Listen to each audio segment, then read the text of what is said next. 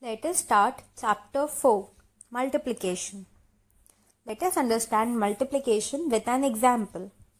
As we can see in this picture that we have three groups of two pencils each in it. So if we want to calculate that how many pencils do we have in total, what we will do? We will add them all. So we will add them in groups. 2 plus 2 plus 2 is equal to 6 pencils. So we have 6 pencils with us. Let us see another example. In this we have 4 groups and in each group there are 3 brushes. So if we want to calculate the number of brushes, what we will do? We will add 3 4 times. So we get the answer as 12. Now let us understand this example.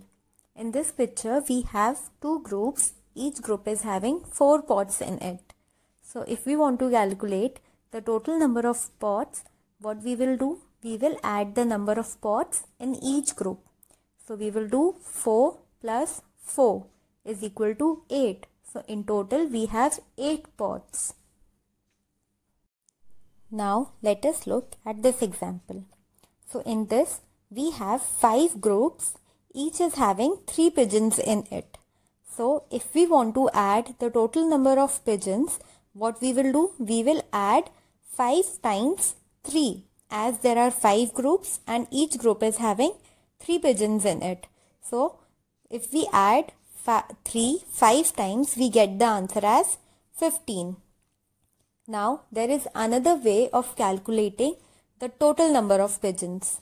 So if we have 5 groups, we will take first we will take the number of groups that we have, we have 5 groups. So we will write 5 and then we will put the sign of multiplication and then we will multiply with the number that each group as is having. So there are 3 pigeons in each group.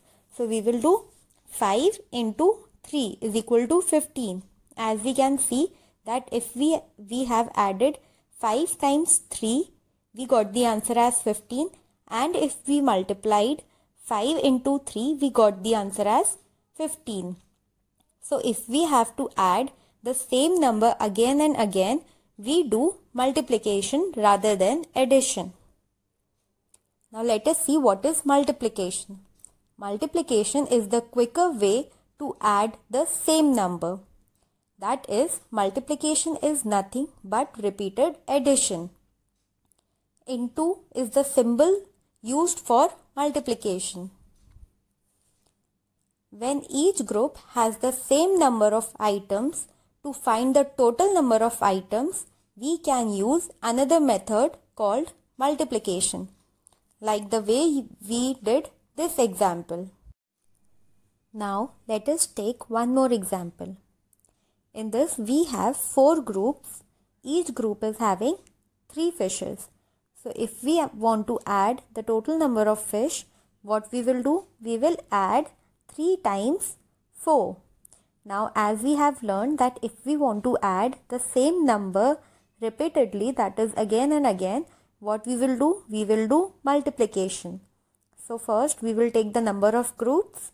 So there are 4 groups. We will do, we will write 4 and we will multiply 4 by 3.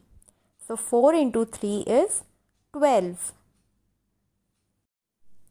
Now let us understand some terms of multiplication. In this it is written 4 into 3 is equal to 12. So the first number 12 that is the number that is being multiplied by the another. So this number is known as multiplicand. Now 3 the number that is multiplied so it is known as multiplier.